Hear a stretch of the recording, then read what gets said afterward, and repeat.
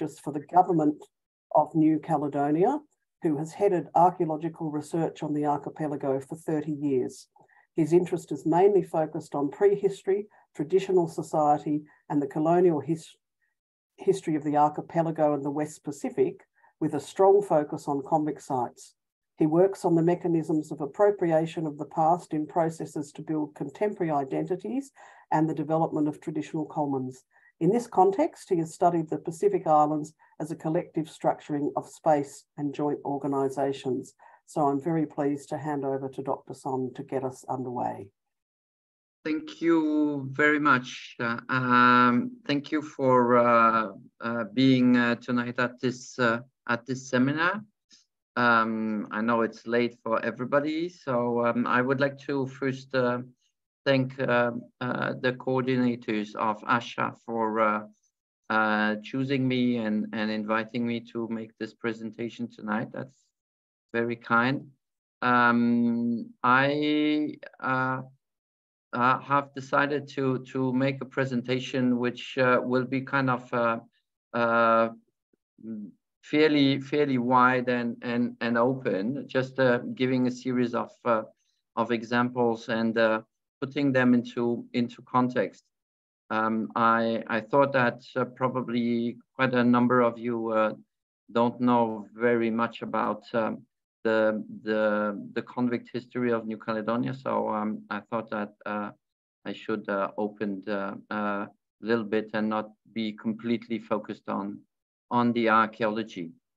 Um, I would like, before starting, just to um, uh, acknowledge that uh, all the work that I will be presenting has been uh, uh done uh, um, over the last 35 years now um, through the uh, funding of the government of New Caledonia, of the three provinces of New Caledonia, and uh, with uh, the help of uh, the team I was heading, first as head of the Department of Archaeology of New Caledonia, and then as the director of the Institute of Archaeology of New Caledonia and the Pacific here in, in Noumea. So um, I, uh, what, what you will see tonight will be uh, pictures and uh, material and drawings, etc. That's have been done by, by the, the team.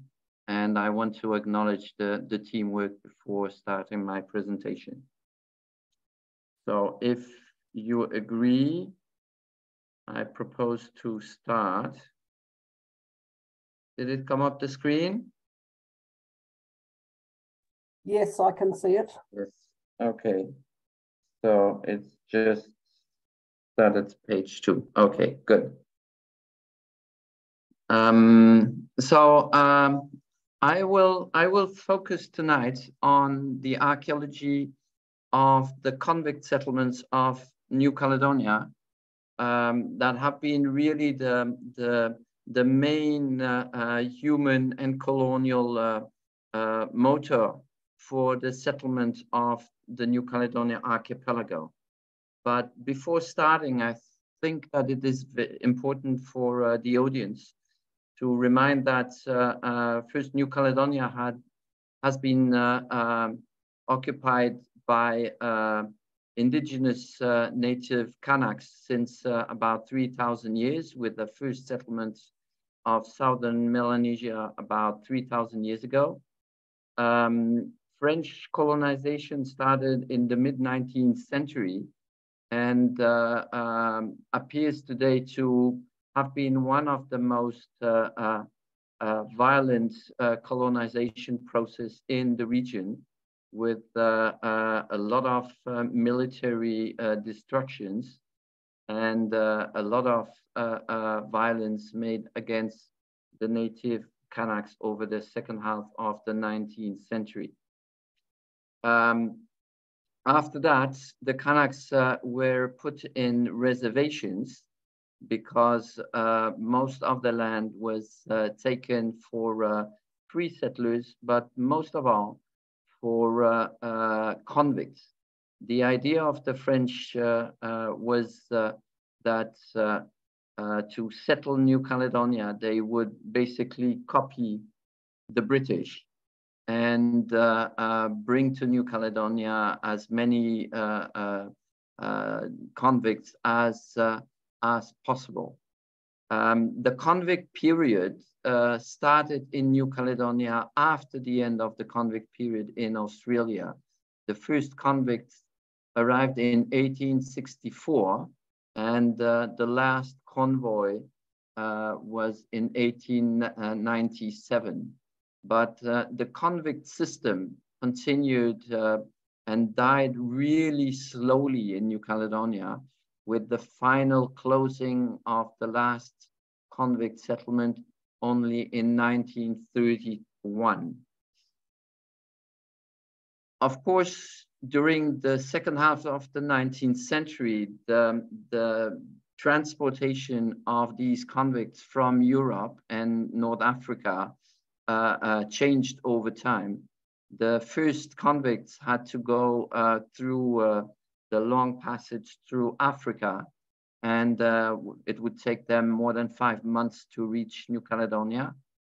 At the end of the 19th century, um, through the passage through the uh, Suez Canal, um, the time for um, uh, the transport was uh, reduced to less than two months all in all, uh, about 30,000 convicts were sent to New Caledonia in uh, about uh, a little bit more than 30 years. Um, 25,000 were male convicts, so uh, uh, really closed in, in barracks. 500 were female convicts who were basically sent here not to uh, be convicts, but to marry uh, former convicts in order to create families and allow the, the colony to, um, uh, to grow in terms of European inhabitants. We also had 4,000 political convicts who, who were more in exile than really uh, as convicts closed in, in barracks the system was really one that was uh, uh, constructed by the French justice to allow, to force people to stay in New Caledonia. Uh, the main uh, uh, rule was that every convict that was sentenced to eight years, eight years or more was basically not allowed to go back to Europe at the end of his convict time, which means that uh, most of the, the convicts had to stay uh, uh, their whole life in New Caledonia, even after the time of uh, sentencing. In terms of the geography of the penal colony of New Caledonia, um, the central depot was just in front of the capital, Noumea, in the southwest of the main island. And you had 10 major convict camps across the archipelago, not only on the mainland, but also two in the Loyalty Islands and one very large one on Ile des Pins in the southwest east of Grande Terre. One other uh, quite unique aspect of uh, the history of convictism in New Caledonia is that from the very, very early on, the, uh, the penal administration used the indigenous native Kanaks uh, as uh, a native police.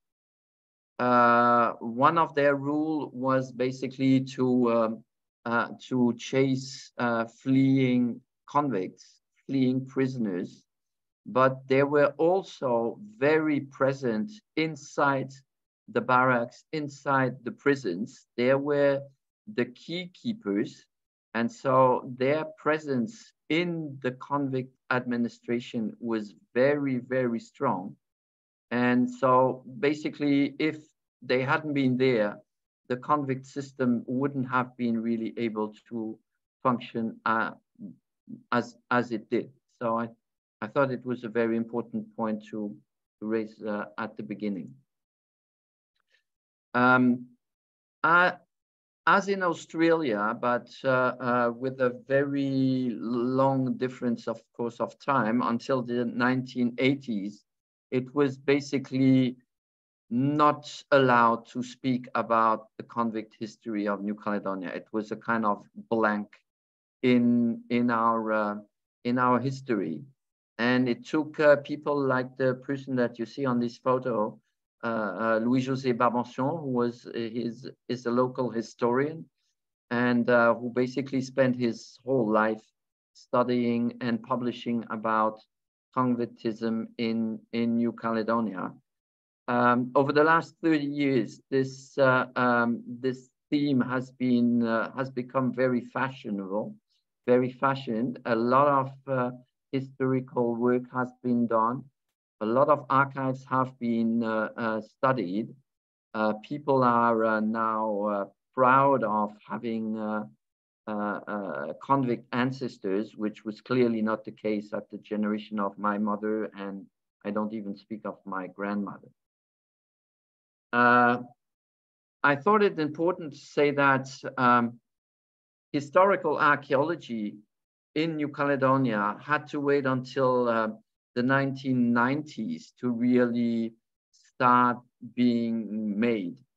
Um, uh, our team uh, was the first in the early 1990s to really push the administration and and heritage uh, um, uh, uh, uh, staff to uh, kind of accept having historical archaeology.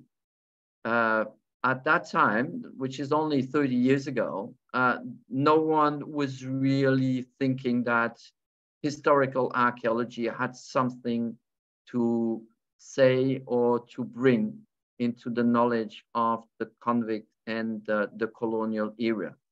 It took me quite a number of years to get the first permission to be allowed to uh, try an excavation on a, a, heritage site. And I did it, uh, you see where you have the round there, uh, on that, uh, the place of the former building. As you can see down there, uh, at that time it was really bush. And uh, basically nothing could be seen on the surface and everybody was kind of laughing saying that i was crazy until of course after a couple of centimeters we started finding walls and uh, and and uh, uh, remains of buildings.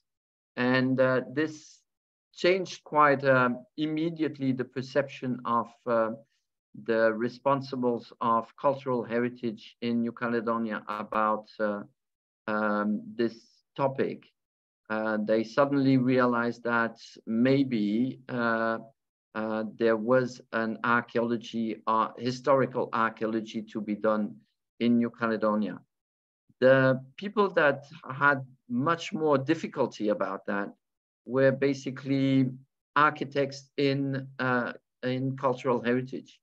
They really thought that um, um, I had been lucky with uh, that excavation, and but uh, basically I wouldn't find anything else uh, doing other excavations. So we we we choose uh, another site that I will come back to later on, and um, we decided because we had this complaint uh, of uh, the architect saying we have so many photos of buildings. Why do you do archaeology on some of these buildings? It's a loss of time and a loss of money.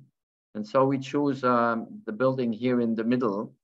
And uh, as you can expect, we started excavating and then we uh, find out, uh, found out uh, that there were a number of constructions around this building and uh, new addings after the photo that, of course, uh, uh, were interesting for uh, the knowledge. Um, this site that um, I have just presented is located on the southwest coast of the main island. It is called Teremba Fort. And I will start my presentation with the archaeology of that fort because really it's there that uh, we experienced the different aspects of uh, what could be found in the convict buildings and related buildings um, connected uh, to uh, New Caledonia. The Teremba Fort is an important uh, uh, um, place for the history of New Caledonia because it was the first fort with convicts that was attacked during the uh, most important Kanak, indigenous Kanak revolt, which took place in 1878. And uh, so the, the, the place has uh, is a landmark for the history of New Caledonia. Uh, some parts of, uh, uh, when we started in the early 90s, some parts of the, the fort were fairly well kept like the prison that you see here on the left. But most of the buildings were really in a very bad state and uh, most of them were half in, in ruin. Um, so what we did is was uh, on this side to have a number of years of, uh, uh of programs to excavate inside, outside the, the fort in order to gain an understanding of uh, what would be uh, um, architectural and construction remains in this kind of tropical environment. Um, a lot of the information that we got was totally unexpected to everybody. Um, the most important being the amount of pavement that uh, were still present in uh, this, these different uh, structures um, in, in a, a, a context where uh, what was expected at first was that uh, so much of these buildings had been ruined and people had been so much uh, uh, getting material out of these old buildings for new constructions that basically very little would be left. I will take the first, my first example as uh, with the, the, the house of the director of the fort of Teremba. So um, the, the chief of uh, for the control of the convicts.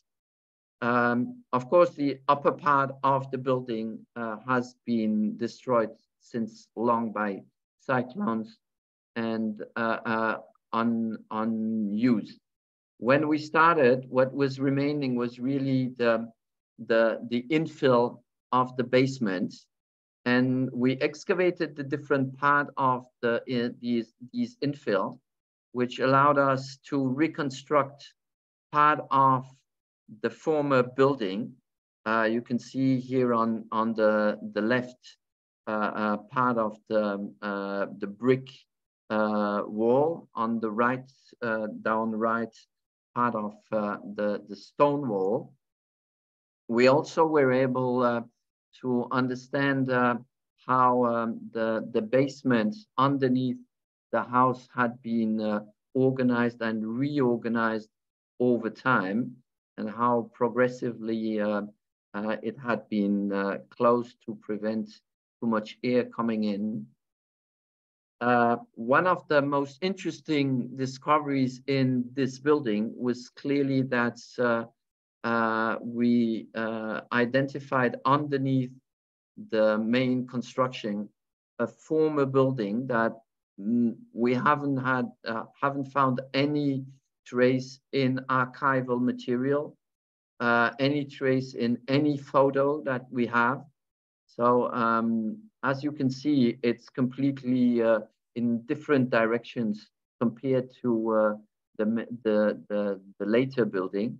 And uh, at this stage, we have we have no clue what uh, what this first building was was about, but it is clearly underneath the director's house. So uh, we reckon that it was probably uh, the, the first building, the first house of uh, the director when the, the, fort was created.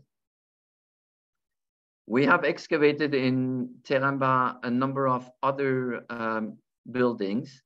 Uh, what has appeared was clearly that uh, uh, when the, the, the buildings were destroyed or collapsed, before people started really getting into uh, collecting material for new housing, the floors were still present, the structure of the housing was still present.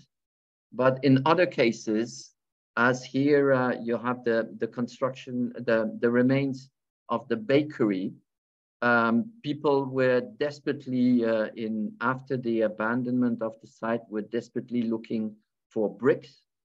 So um, uh, what you can see here on the right side, the the the red arrow is uh, the infill, the top of the infill, and so we excavated this infill in front of the two uh, um,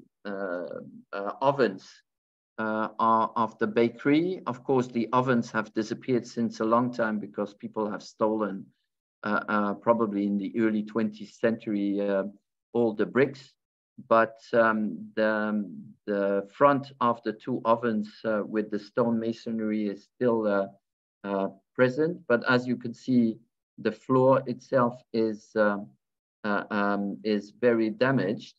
But people, when they took the, the, the tails and when they took the bricks off the floor, um, basically left uh, the marks, uh, which allowed us to reconstruct these floors completely and uh, identify that these buildings were very well constructed, even if you, you had a, a convict uh, environment.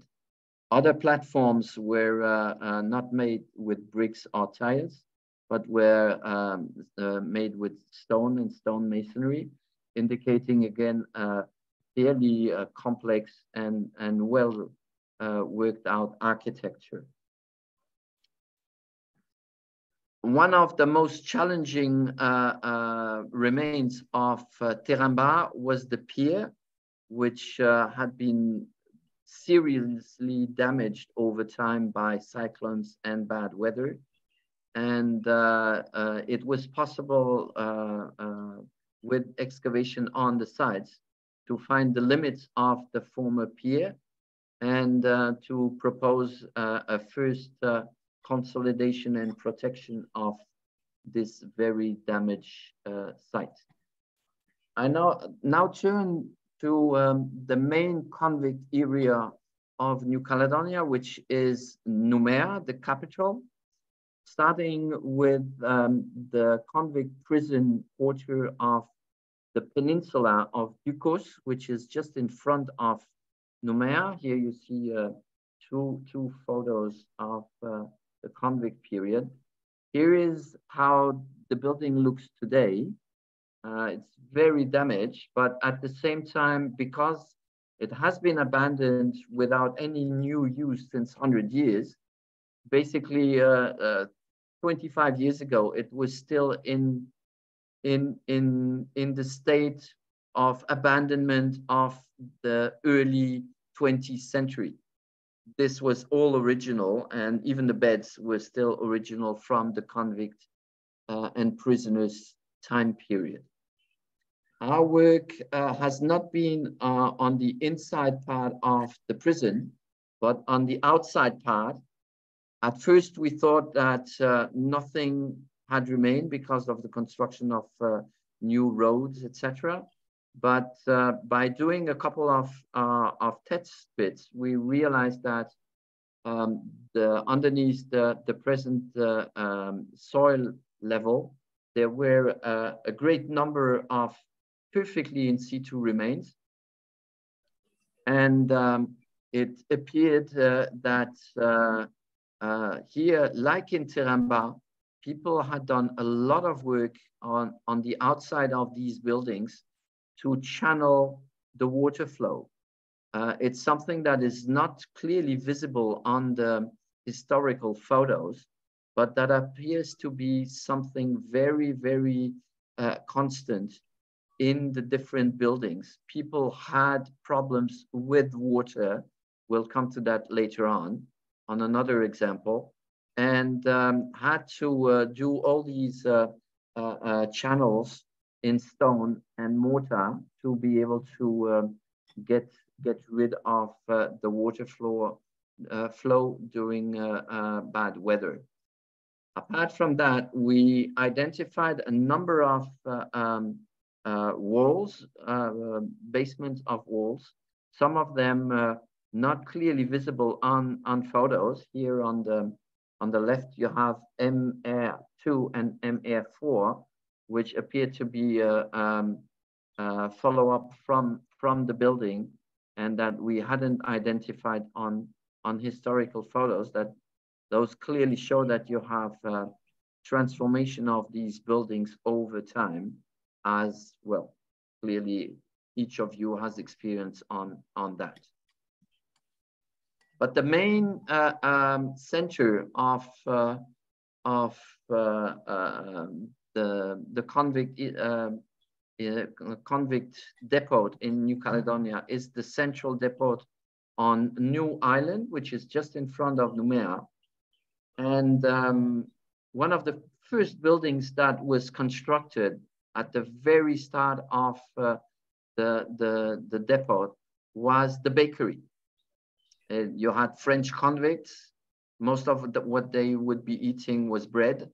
And so that was one of the first uh, stone buildings that was, was built. We started working on it not through the archaeology, but we were asked to confirm that the ovens uh, that had been uh, closed uh, behind walls uh, at the, the beginning of the 20th century were still there. And here is uh, how they look like once we did tear down the, the masonry that had been put in front of them. We had to work on the uh, uh, backside of the bakery, which allowed us to um, find out that uh, the infill of the backside was uh, really serious, a couple of meters deep, and was fairly complex.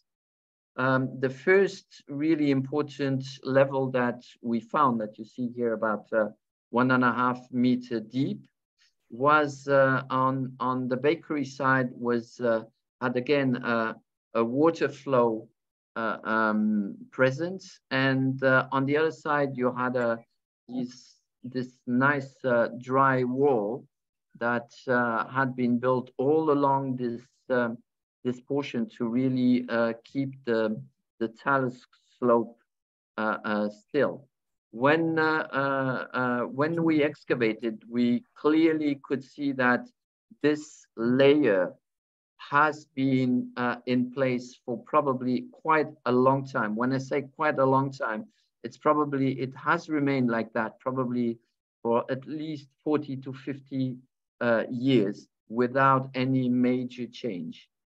But when we excavated underneath this uh, um, layer, we discovered that we could reach the basis of the building.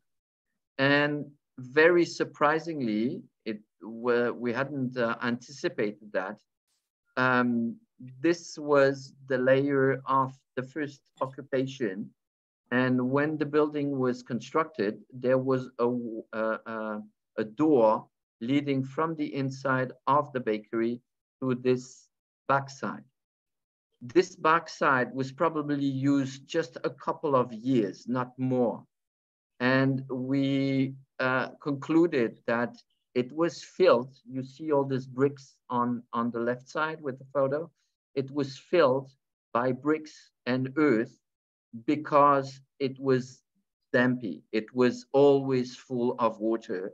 And so people decided that they had to uh, uh, uh close completely stone the, the door that we have found and reopened now and to prevent the water to, from getting during cyclones and bad rainy uh, weather to be uh, able to, to get into the bakery. So um, we have here a, a, nice sequence of uh, rapid fill, then a standstill, and then uh, uh, for, for probably half a century, and then a, uh, a slow fill up to uh, the 70s, 1970s. At the back of the bakery, uh, we had these, this platform. Uh, we had done a few test pits and found uh, some, some floors, but we were asked to do a, a proper excavation of that that place before the opening of a museum at the bakery. And the excavation uh, led us to identify different buildings that could be seen on maps and could also be seen on uh, some of the photos of Ile Nou. One of the uh, uh, important buildings was, uh, was uh, a series of rooms of housing that was probably for the people working in the bakery with uh, a large corridor as the photo you can see down there. Nearby, we had a, a, a, large kitchen with all sorts of um, different um, small rooms and aside of that, we had the remains, part of the remains of a house, which is the one that you see on the photo on the left, top left. This uh, building uh, is now cut in, has had been cut in two by the Americans when they opened a, a road there. And this is what came out. So uh, well-preserved floors, remains of the, the beginning of the, the, the walls, series of steps. Uh, um, here you have uh, what seems to be a pool for uh, the mixing of the flour and, um, and, and the bread. And interestingly, we uh, found during the excavation this, uh, um, this kind of, of uh, layer, which appeared to, to be um, a dry brick wall. And so this gave us the information that um, this building was not made of uh, uh, of uh, wood or uh, or, or uh, uh, of bricks, but had been made. Sorry, been a bit too quick. Had been made of of dry bricks. It's the first I I I mentioned this because it's the very first time that we have indication of dry bricks in, in the building of the convict area in, in New Caledonia. My last example uh, will be on mining sites. Um, the convicts were used from the very early on to be kind of uh, free workers, basically slaves, uh, uh just say the word, uh, uh, free workers in the mines. Uh, it was nickel, mainly nickel mines, chrome mines, and um, they were used like slaves in agreements between the convict administration and the, the, the head miners. And um, the, the work was really, really harsh. Uh, we haven't uh, worked on uh, um, convict uh, barracks of uh, these uh, convict mines, but have been asked by the Northern Province to work on the remains of the house of uh, the director of one of these uh, mining sites. This is on the northeast coast, where you had a, a nickel smelter. Interestingly, the, the um, the remains of the house, the wooden part of the house have been dismantled in the 1930s to be reused in the house that uh, modern house that you see here. Our excavation allowed to uh, find uh, uh again a great number of uh, um, floor remains of um, um, uh, water channels, of uh, buildings, one on uh, um, rearrangements, one on top of the other.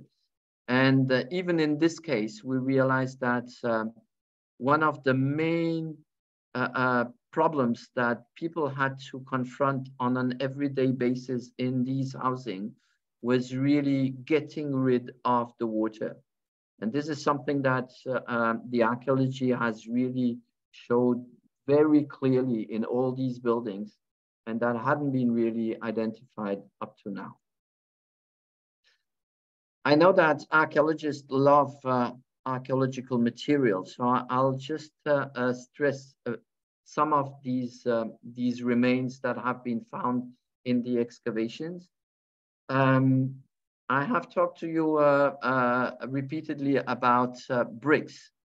Um, it's interesting to notice that uh, in the early period of uh, uh, the convict construction, um, all the material comes from France. We haven't found any amount of bricks that have a label that could show that they come from or Australia or New Zealand. It's all uh, made in France. Uh, and in this, and in a second stage, you have local uh, um, brick making factories that are created by the convict administration to produce bricks in New Caledonia. But uh, on, on the bricks as on the tails here that um, uh, we haven't found any connection with productions coming from uh, Australia or New Zealand. Concerning the tails, it's really interesting to notice that people arrived uh, with ideas of uh, architecture that they brought from France and uh, that had they had already used in French Guiana, where you also had a, a convict uh, settlement. Here, the tails uh, uh, were again brought from France, but people realized after a couple of cyclones that this was the worst kind of material that you could really use to cover the roofs. And so uh, from the 1880s onwards, all these tails are basically removed, put into big uh, uh, um, uh, pits like the one that we are excavating here on Ile Nou, and replacing them with iron roofs. In some of the buildings, we have been able to find a remain of, of uh, um, uh, painted masonry, which uh, clearly correspond to what you have on, on some of the, the photos of the interior of some of uh, these uh, uh, administrative rooms a lot of uh, iron remains. Again, uh, a lot of them seem typologically to correspond to what comes from, from France, although uh, uh, uh a number, uh, quite a number of this material has not been studied in detail. Again, we were expecting that a lot of the, the, the, the material for, um, for eating would be of um, uh, Australian origin. When you look at the amount of boats that come during the second half of the 19th century from Australia and New Zealand, compared to the number of boats that come from France, it's the difference is really, really uh, uh, um, serious. But here again, all the those plates that uh, we we have found in in Teremba and elsewhere have uh, uh, um, how you say, uh, um, uh, marks that are clearly uh, of French origin. Some of them are of British origin, um, Great Britain being the, the major world producer of these porcelain in the 19th century. We have also found some uh, um, marks that come from Eastern France and from Germany, and that might be uh, corresponding from uh, uh, to the very first imports of this material before the loss of Eastern France by, by France in 1870. Same thing goes for um, the the the the, the uh, um, how you call it the alcohol bottles um, that are also derived from, from mainly from France. Same thing for the, the bottles, uh, glass bottles. You see here uh, um, a lot of these bottles are alcohol. You see Pernod et Fils, which is the, the main alcohol uh, uh, um, producers and that you see on the photos of uh, uh, of people, uh, especially the administration, drinking alcohol in the second half of the 19th century.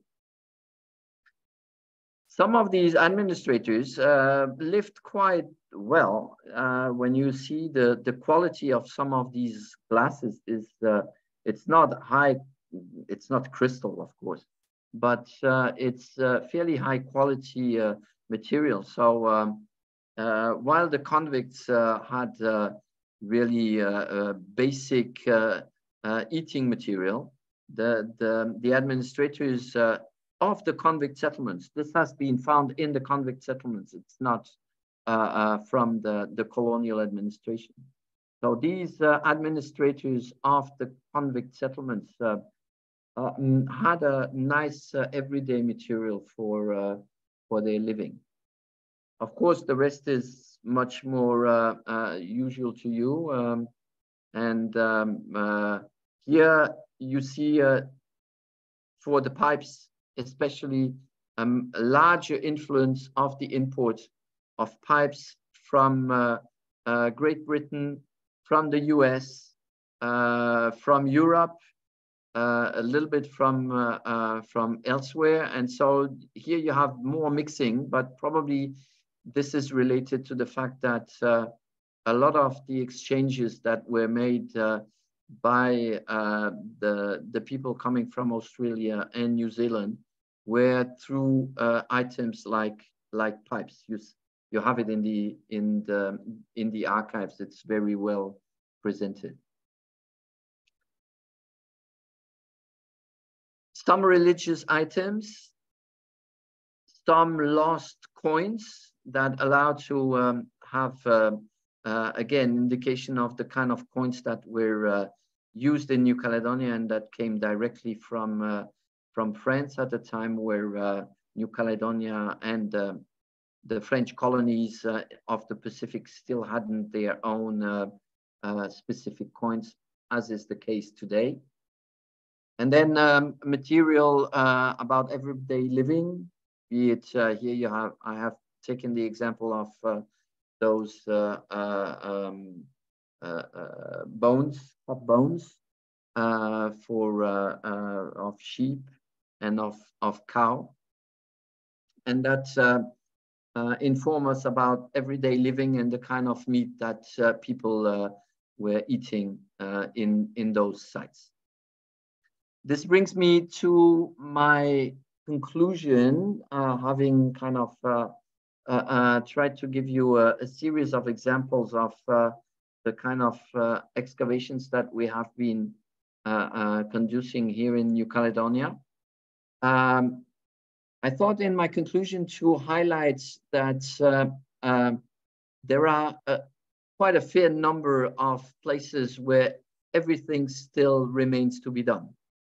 One of the uh, hotspots of uh, convict archaeology in the future will certainly be Isle of Pines, where you had the political convicts, where you had uh, uh, uh, um, normal convicts and uh, where half of the island basically was taken by France to put convicts in and where the number of, of remains of buildings is still quite impressive, well preserved, and um, no excavation done uh, at this stage uh, or very little.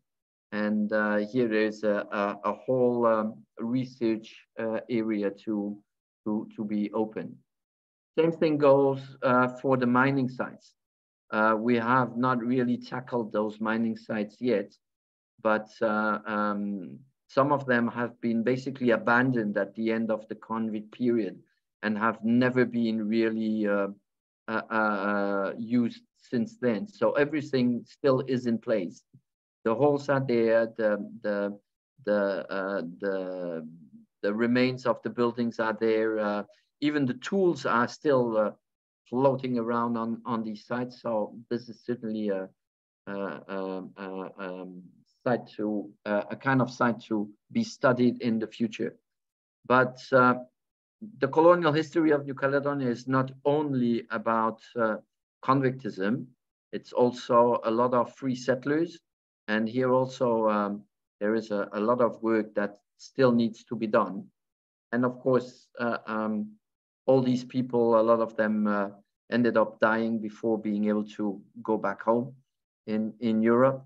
So um, we have a lot of uh, uh, burial grounds of convicts, of administrative staffs, of resettlers. And uh, here I give you the examples of, uh, of the burial of uh, James Paddon, uh, the people who have been working on, on um, Sandalwood will know this, this man who was important in the New Hebrides and afterwards in New Caledonia and who uh, was buried in New Caledonia uh, in the early uh, 1860s. Of course, apart from research programs, um, very regularly you have uh, bits and pieces of this uh, colonial heritage archaeology that appears uh, in rescue with rescue archaeology. And uh, here, like everywhere else in the Pacific, um, we have a serious threat on uh, these convict sites because a lot of them are uh, really built uh, near the seashore and climate change and uh, and uh, the sea rising are really putting them into threat. You may have noticed during the, the slideshow that uh, on some of the photos you had quite young archaeologists. It's because we have used um, uh, heritage classes of uh, teenagers to uh, participate in quite a number of our um, historical archaeology field schools. Um, we thought that uh, it was the best way for them to first discover their history and uh, then to be as the next generation the best uh, advocates to protect and uh, talk about and be proud of this uh, history uh, this part of the history of new caledonia. So uh, hundreds of former teenagers in new caledonian schools have been doing heritage classes with us on, uh, on uh, historical archaeology excavations. And now, now for some of them are uh, teachers, are politicians, and um, help us to protect this, this heritage. I would like to finish by just uh, informing you that the New Caledonia government has decided uh, uh, last year to start uh, preparing a dossier for a World Heritage nomination of some of New Caledonia's convict sites uh, to uh, uh UNESCO in the future. So this is a work that is just starting and um, we will certainly need uh, help for everybody interested and uh, ready to give us advice and help. And so uh, you might uh, hear from me in the future uh, to see if one or the other of, of, the people in the region might be interested to participate in preparing this dossier. The reason for uh, this choice is that, as you have understood, uh, even more than for Australia, heritage and convictism for us is just what happened to our grandparents. And for some of the elders here, our parents. The photo on the left is the small lady there, the small child, is my mother.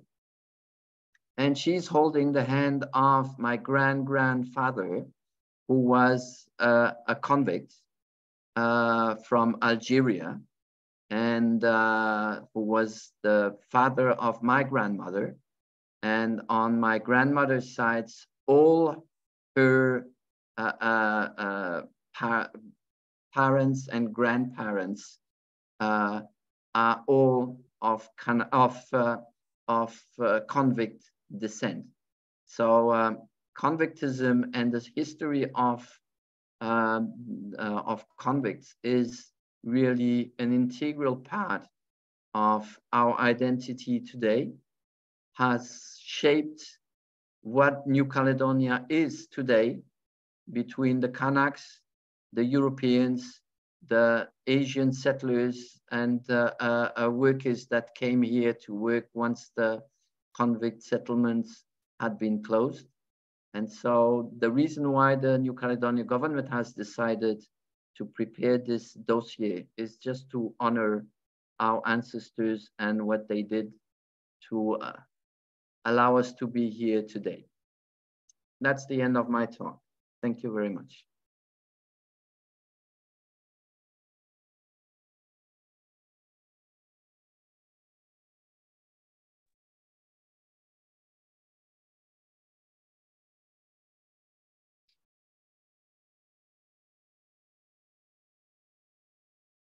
Thank you. I very, Thank you very much, uh, Christophe. That was fantastic. Um, if anybody has a question, would you either raise your hand um, using the reactions button at the bottom of the screen, or you could actually pop a question into the chat.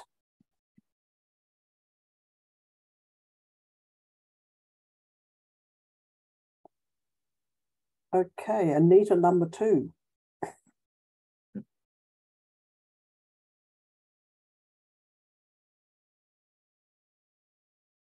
Oh, you're on mute, Anita, number two.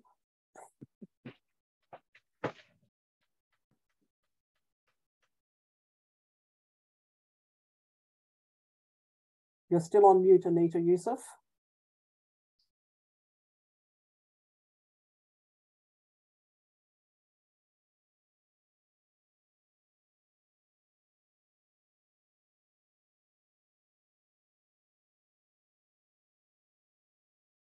I don't think we've muted you, Anita. I think it's at your end, but perhaps we'll come back to you. Does anyone else have a question?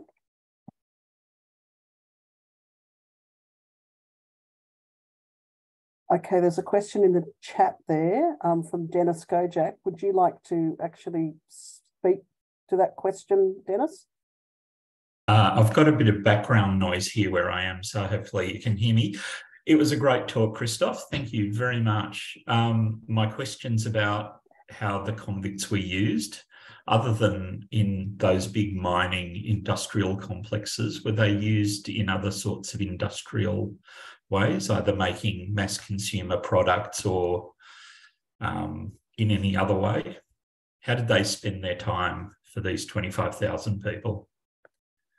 Uh, thank you for the question. Um, basically, they were used as workers. So uh, aside from the mine, where uh, they were not under the control of uh, the convict administration, for the rest, um, they were used to build uh, roads, to build buildings, to build bridges, to be in stone, how you say, um, um, stone quarries. Um, and uh, to be, uh, uh, they were also rented to um, farmers to work in fields, to raise cattle, um, but they were not really producing anything on an industrial basis. Um, what they were allowed, for example, to uh, for their own sake, to um, to uh, do uh, artwork on uh, on uh, uh, shells that they could sell or uh, um, do carvings, those kind of things for their own sake to to gain a little bit of money. But basically, the system was costing more than it was really producing money. I don't know if I have answered your question. You have. Thank you very much.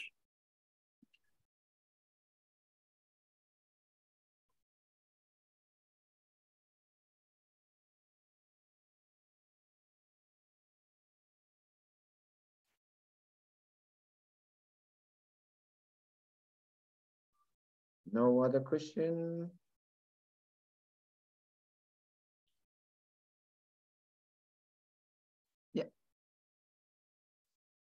Um, if I can just jump in, I mean, I think everybody who's listened to that, Christophe, would be um, very taken with the the similarities between the French system in New Caledonia and, and you know whether it's Tasmania or New South Wales or wherever in Australia, but there are so many common elements. You know, the use of convictism as a, a strategy for colonization, the use of convicts as a labour force, all of that kind of stuff.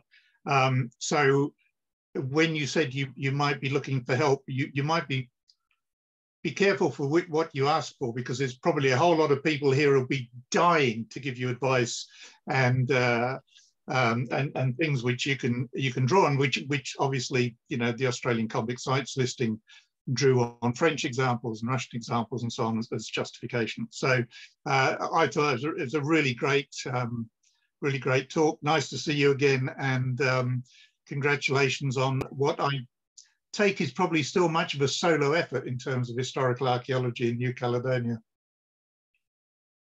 Um, yeah, I'm I'm uh, I'm I'm getting slowly to retirement. So um, so uh, I I know that uh, uh, there there are some other uh, uh, local archaeologists that will be getting into into this hopefully in the in the years to come. Um, and uh, I'm I really hope that uh, the project of having uh, the dossier started, which will take a decade. I mean, it will it will be a long process. Uh, will uh, uh will hopefully uh, give a, a, kind of new boost to historical archaeology in New Caledonia and especially historical archaeology related to convictism. So mm. there is so much to be done, and um, over the last 30 years, I have seen some of the the building decaying so quickly that um, yeah there there is uh, some urgency to to have some of these uh, sites studied uh, fairly quickly but not by me uh, Christophe Anita has managed to put her question into the chat and her question is given the location of New Caledonia in the area of cyclones is there a disaster management in plan for in plan in place? Thank you very much for the, the question. Um, at this stage, not really. Some of these sites are protected by the uh, in in the local uh, heritage list of the the different uh, uh, provinces. It's a provincial duty. It's not a, a duty for the New Caledonia government or uh, for the French government. So um, it's we we are uh, getting step after step, and so uh, the the question of a disaster management plan is not uh, really one that is uh, at uh, has reached a, a satisfactory stage yet, unfortunately. Great, thank you. Um, Richard Morrison, I think, is next. Thank you, Christophe. That's most interesting. Um, my question is about the penal philosophy there um, imposed by the French compared to the British system, which included um, religious um, religious theme as well as um, silence as a means of controlling and supposedly redeeming um, the convicts. I'm wondering whether there were features like that not necessarily those, but features like that of the French penal system on New Caledonia? Um, there, there was uh, um, um, there, there was a religious, uh, uh especially Catholic, uh, uh, presence in the the convict administration. So um, the convicts could go to church, those kind of things. But because the French um, philosophy, the, the Republican philosophy was one where you had already a, a, strong separation between church and, and uh, uh political uh, or social system. It was probably not as, as, um, uh, as central as you would have it in, in Australia.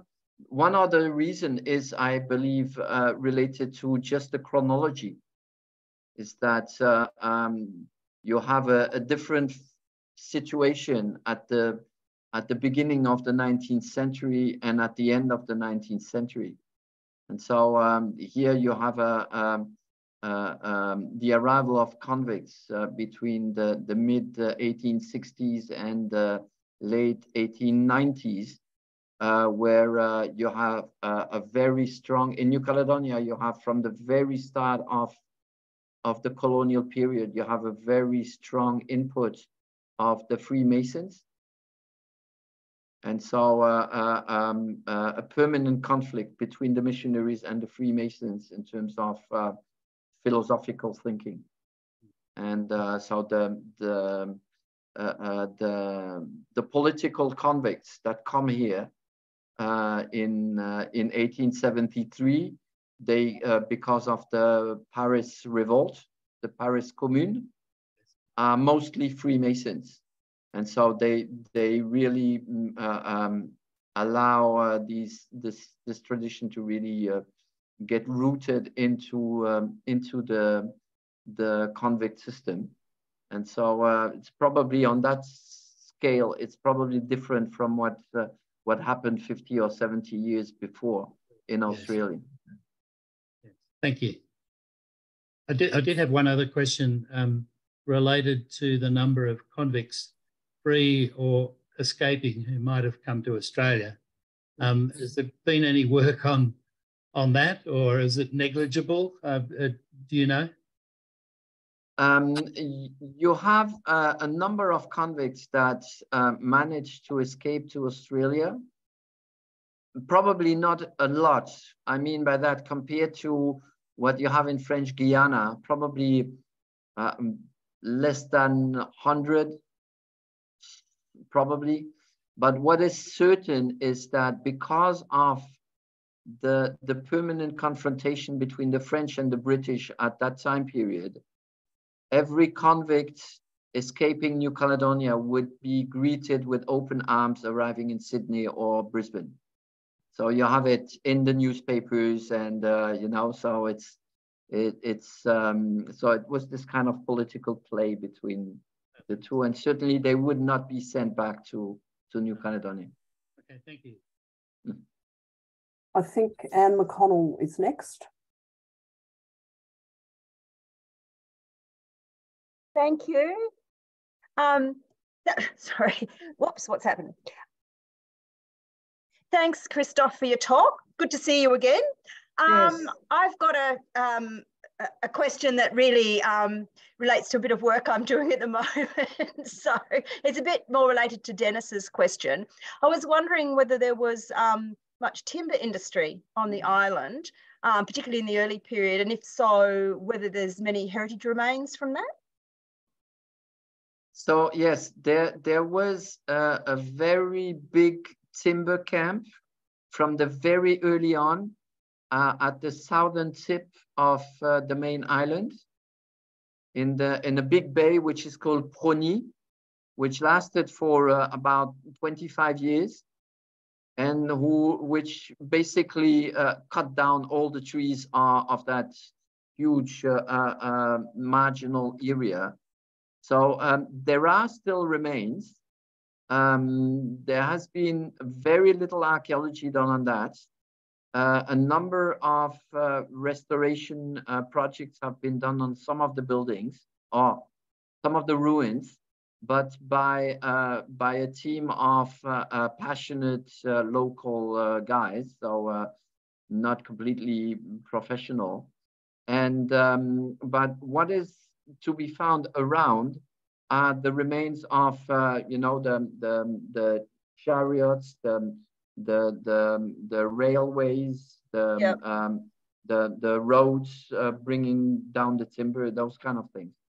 Okay. So um, and that that's um, that camp furnished uh, um, uh, the the timber for the town of Noumea for uh, uh, at least twenty years.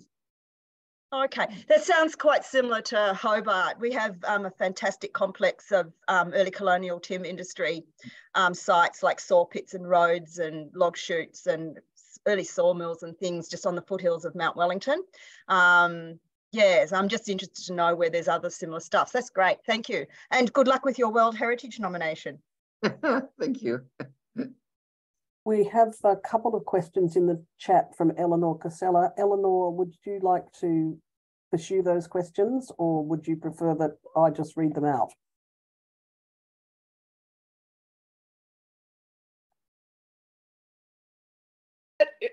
Am I coming through? Hi.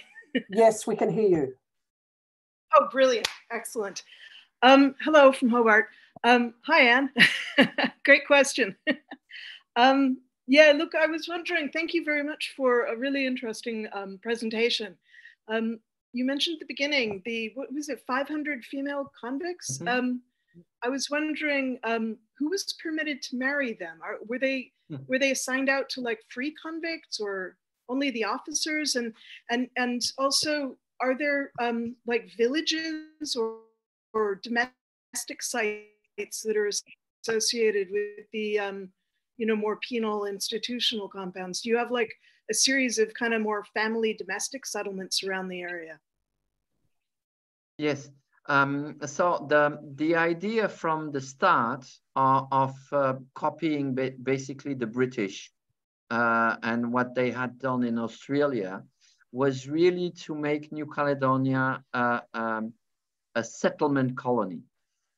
In the French uh, colonial history, you have only two settlement colonies. One is Algeria, the other one is New Caledonia. Just those two ones.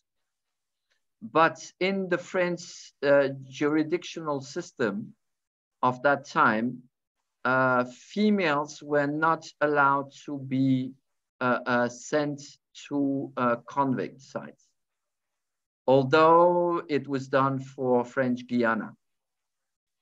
And uh, so very quickly, of course, people realized that you had all these males but no women to build families, to make couples. So the French uh, justice went through a number of uh, uh, female uh, prisons in France and proposed to uh, these uh, women in the prisons, prisoners, um, to be uh, uh, re redeemed from their accusations if they agreed to go to the other side of the planet and marry a convict. And so about 500 women agreed to that. Uh, we're sent to New Caledonia and we're taken up by um, religious, uh, uh, French Catholic religious nurses they were sent to the main uh, uh, uh, colonization village or settlement of the main island, which is Bourail. Bourail is in the center of the west coast of the main island and uh, is the place where you had the, uh, uh, the largest uh, space where convicts could be put to land uh, on, on properties which were about four hectares for one convict. And so the nurses uh, organized uh, what could be uh, called speed dating, uh, which meant that uh, the, the lady would stand in a kiosk and you would have 30 or 40 males queuing and they would be allowed to talk to this uh, woman uh, for a couple of minutes. And uh, after they would have uh, all gone through, she would say to the nurse, uh, well, um, I want number 255 or uh, I haven't found anybody.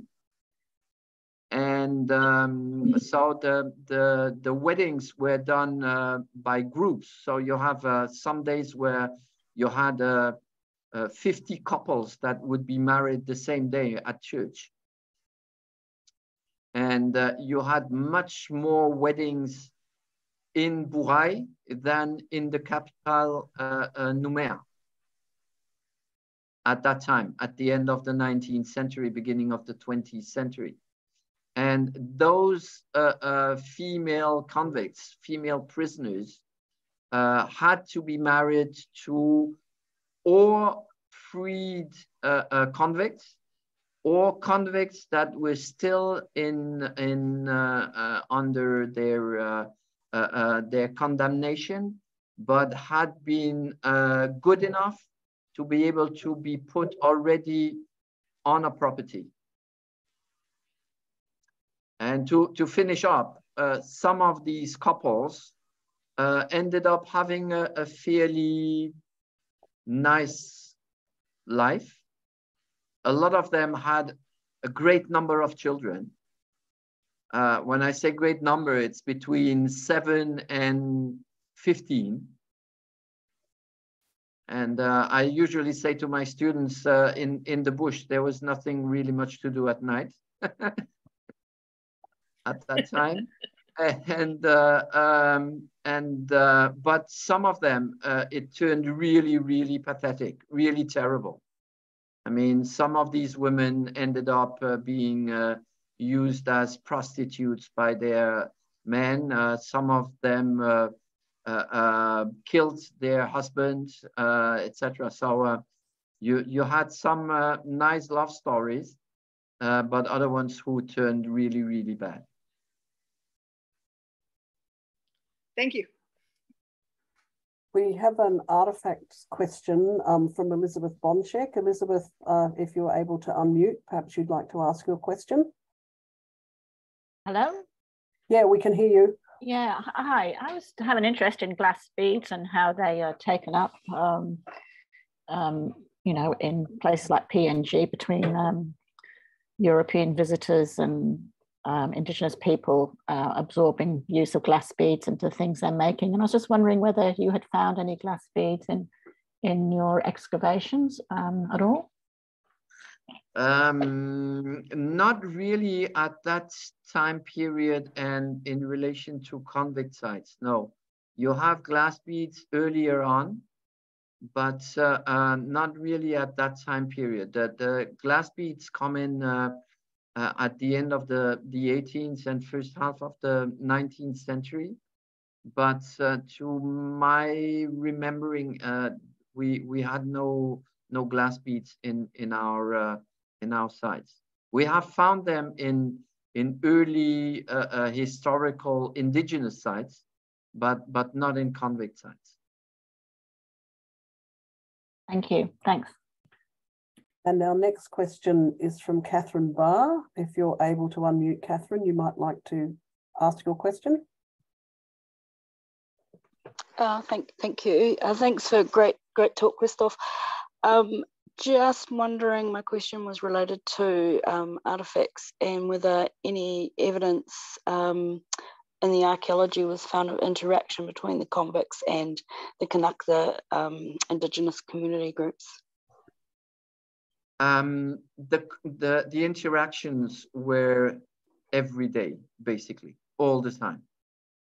So, uh, which means that uh, um, Kanaks and, and uh, um, convicts were interacting all the time because the Kanaks were basically the guardians of, of the convicts who were working uh, on roads or building bridges, those kind of things.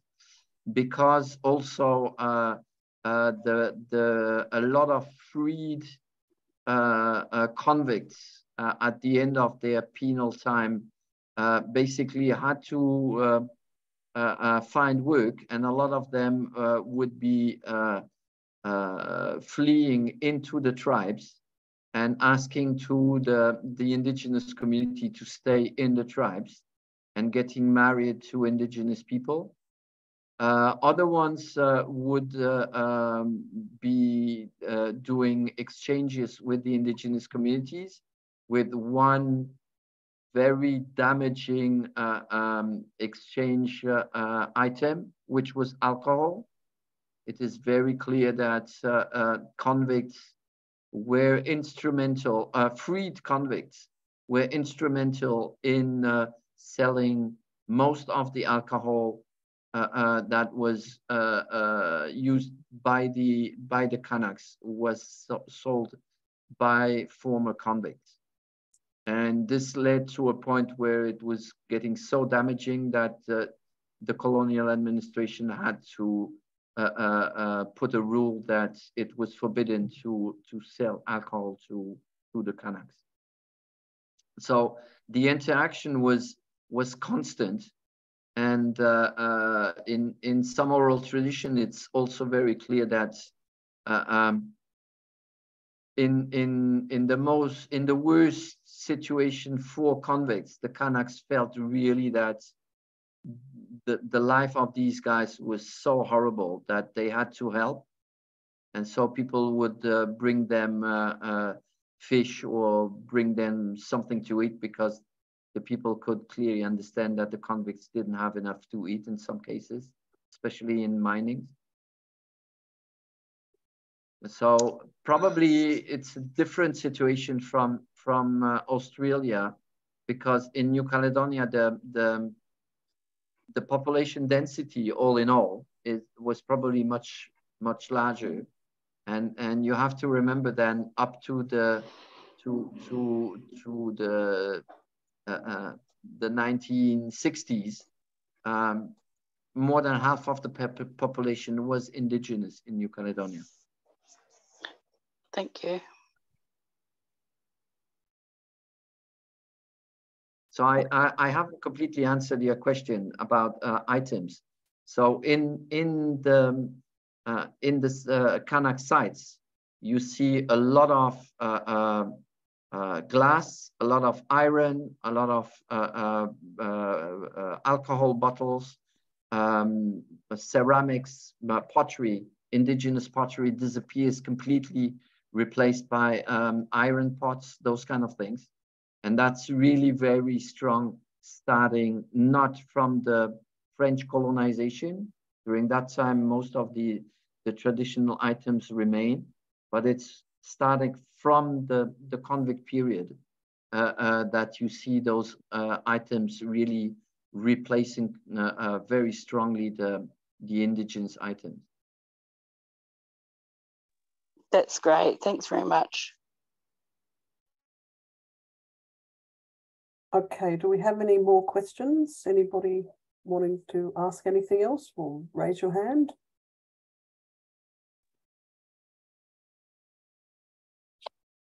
Uh, can anybody hear me now?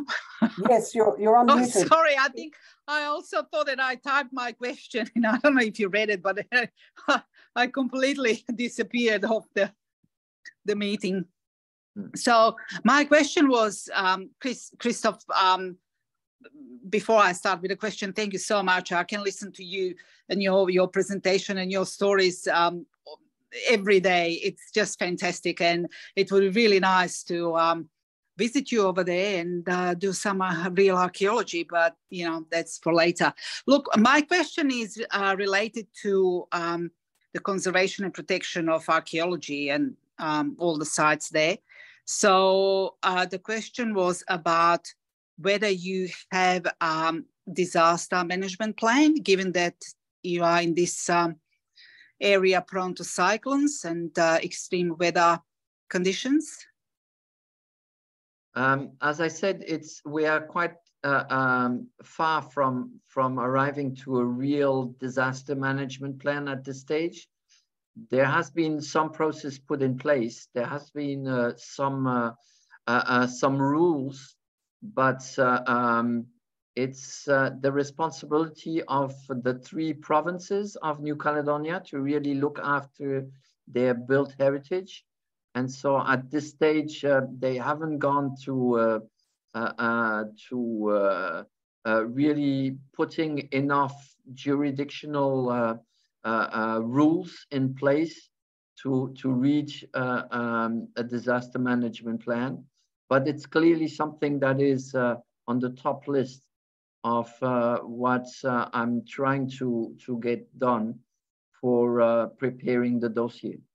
And so um, we'll um, uh, uh, might probably in the years to come ask for some help in this in this writing, knowing that um, Uh, it's not uh, that I'm against the, the, the French specialists, but uh, it's very clear that uh, uh, between Australia, New Zealand, and New Caledonia, there are much more closer similarities in terms of the problems we have with conservation than you know the frost or um, the the the North European weather forecast. So, um, yeah. but yeah, but yeah, to answer your question, we are we are not at this stage yet. Right, and and has there been any level of monitoring, or have you noticed any changes, or any has there been any loss of um, um, remains or you know material evidence as such? Oh, as you can imagine, over the last thirty years, with the the uh, nearly all the buildings not being, being really uh, uh, uh, uh, going through any process of conservation, we have seen loss. Yeah, definitely. And, mm. you know, uh, walls falling down, roofs just collapsing, those kind of things. So trees being becoming too heavy on on the roofs and just the whole thing falling down. And and I don't even talk about uh, proper uh, uh, human destruction to to to get the the bricks and and some of the some of the stones but yeah. um, uh, this is one of the reasons why we have been pushing so hard to to get this um, political project of having the dossier uh, on world heritage it appeared to us that this was the only way to really have uh, some some say and have politicians hearing that this is important to preserve. Now I'm, I think about uh, one of the last pictures I saw with the, the air photo of the, the prisons of um, Isle of Pines. Um, those buildings are magnificent, just really, really beautiful. But year after year, when I go to just monitor just myself, it's mm. getting bad and worse. And uh, since a few years, there is no money to just uh, clean the bush. So uh, you can't even access some of these buildings anymore. I mean, you have to go uh, yeah. Uh, uh, with with a, a knife, a bush knife. But um, yeah, so yeah, definitely. I know that some of the buildings will be, unfortunately, in a state of preservation so bad that they will not be able to be put on the list, uh, even if they could have been 30 years ago. Right. Thank you very much and good luck. yes.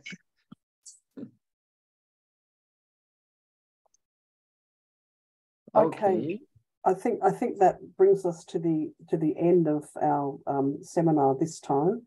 Thank you very much, um, Christophe, for a fascinating and informative presentation. I'm quite sure that um, for everyone, many of the images that you showed resonated with us. Um, in some ways, they were very different, but they were also very familiar. Um, the artifacts, the architecture, um, and indeed some of the challenges. Um, I, I loved your description of trying to persuade architects that archaeology was worthwhile. Um, but there were quite a number of offers of help and, and volunteers in the chat.